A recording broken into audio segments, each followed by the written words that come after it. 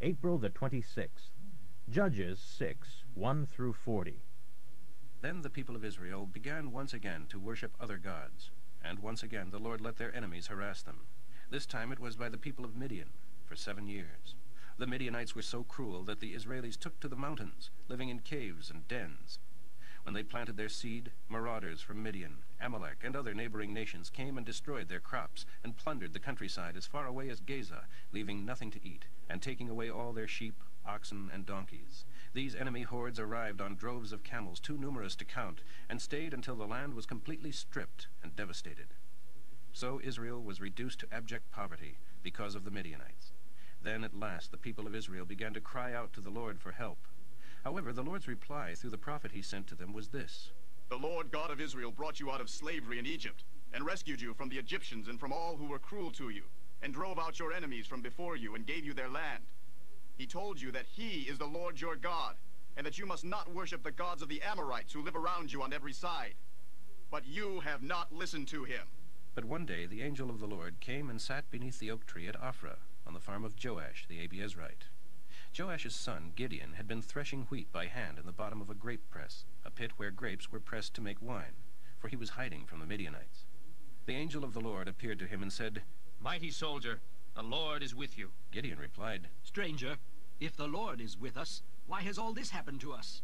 And where are all the miracles our ancestors have told us about, such as when God brought them out of Egypt? Now the Lord has thrown us away, and has let the Midianites completely ruin us. Then the Lord turned to him and said, I will make you strong. Go and save Israel from the Midianites. I am sending you. But Gideon replied, Sir, how can I save Israel? My family is the poorest in the whole tribe of Manasseh, and I am the least thought of in the entire family. Whereupon the Lord said to him, But I, Jehovah, will be with you, and you shall quickly destroy the Midianite hordes. If it is really true that you are going to help me like that, then do some miracle to prove it. Prove that it is really Jehovah who is talking to me. But stay here until I go and get a present for you. All right. I'll stay here until you return. Gideon hurried home and roasted a young goat, and baked some unleavened bread from a bushel of flour. Then, carrying the meat in a basket, and broth in a pot, he took it out to the angel who was beneath the oak tree, and presented it to him.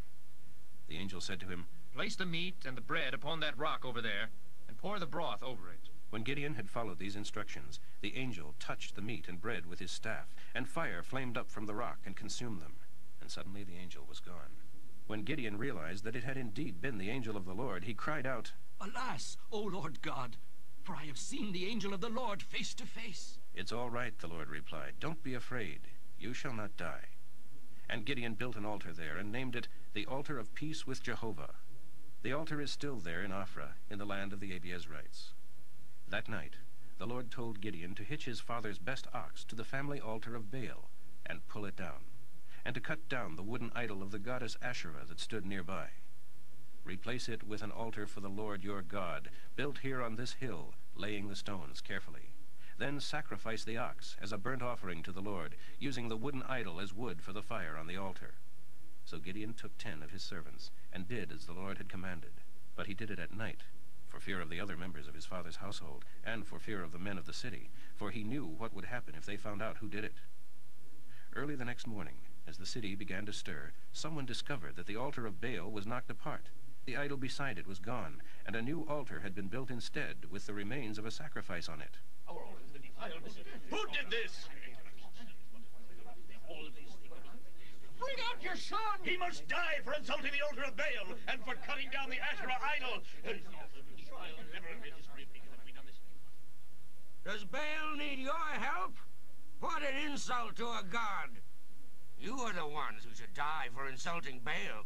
If Baal is really a god, let him take care of himself and destroy the one who broke apart his altar. From then on, Gideon was called Jerubbaal, a nickname meaning, let Baal take care of himself.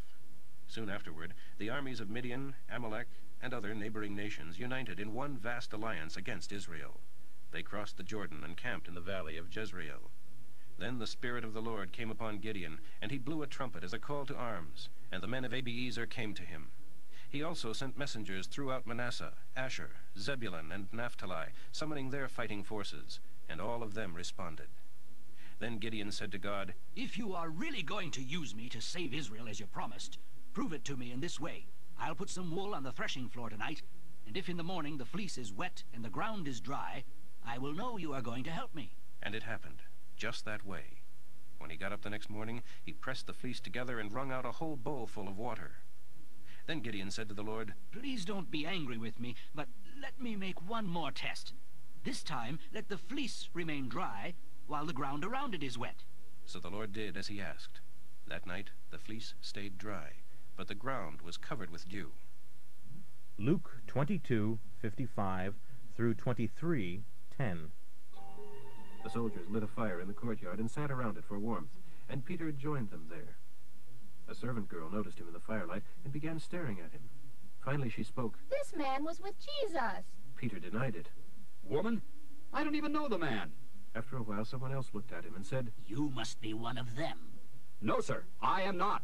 About an hour later, someone else flatly stated, I know this fellow is one of Jesus' disciples, for both are from Galilee. But Peter said, Man, I don't know what you're talking about.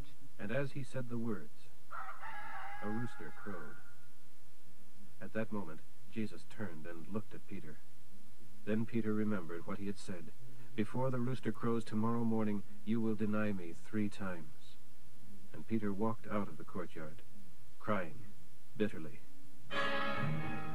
Now the guards in charge of Jesus began mocking him. They blindfolded him and hit him with their fists and asked, Who hit you that time, prophet? And they threw all sorts of other insults at him. Early the next morning, at daybreak, the Jewish Supreme Court assembled, including the chief priests and all the top religious authorities of the nation. Jesus was led before this council and instructed to state whether or not he claimed to be the Messiah. But he replied, If I tell you, you won't believe me or let me present my case. But the time is soon coming when I, the man of glory, shall be enthroned beside Almighty God. They all shouted. Then you claim you are the Son of God? And he replied, Yes, I am. What need do we have for other witnesses? For we ourselves have heard him say it. Then the entire council took Jesus over to Pilate the governor. They began at once accusing him. This fellow has been leading our people to ruin by telling them not to pay their taxes to the Roman government. And by claiming he is our Messiah, their king. So Pilate asked him, Are you their Messiah, their king? Yes, Jesus replied. It is as you say. Then Pilate turned to the chief priests and to the mob and said, So? That isn't a crime. Then they became desperate.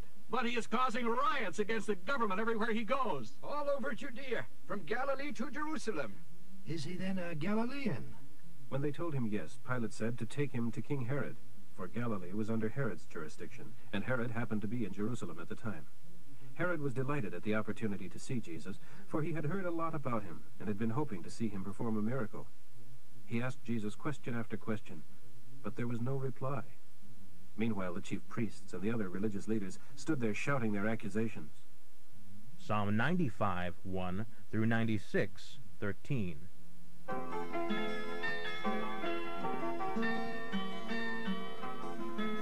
Oh, come, let us sing to the Lord. Give a joyous shout in honor of the rock of our salvation. Come before him with thankful hearts. Let us sing him psalms of praise. For the Lord is a great God, the great King of all gods. He controls the formation of the depths of the earth and the mightiest mountains. All are his. He made the sea and formed the land.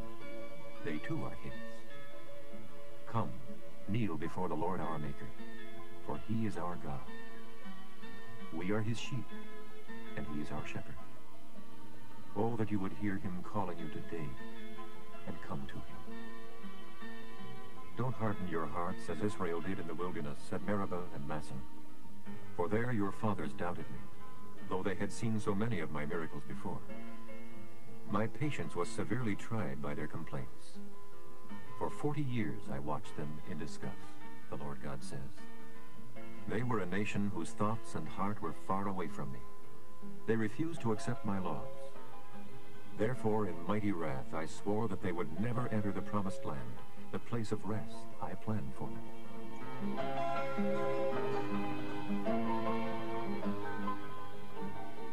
Psalm 96. Sing a new song to the Lord. Sing it everywhere around the world. Sing out his praises. Bless his name. Each day tell someone that he saves. Publish his glorious acts throughout the earth. Tell everyone about the amazing things he does. For the Lord is great beyond description and greatly to be praised. Worship only him among the gods. For the gods of other nations are merely idols. But our God made the heavens. Honor and majesty surround him. Strength and beauty are in his temple. O nations of the world, confess that God alone is glorious and strong. Give him the glory he deserves. Bring your offering and come to worship him. Worship the Lord with the beauty of holy lives. Let the earth tremble before him. Tell the nations that Jehovah reigns. He rules the world. His power can never be overthrown. He will judge all nations fairly. Let the heavens be glad, the earth rejoice. Let the vastness of the roaring seas demonstrate his glory. Praise him for the growing fields, for they display his greatness. Let the trees of the forest rustle with praise. For the Lord is coming to judge the earth. He will judge the nations fairly and with truth.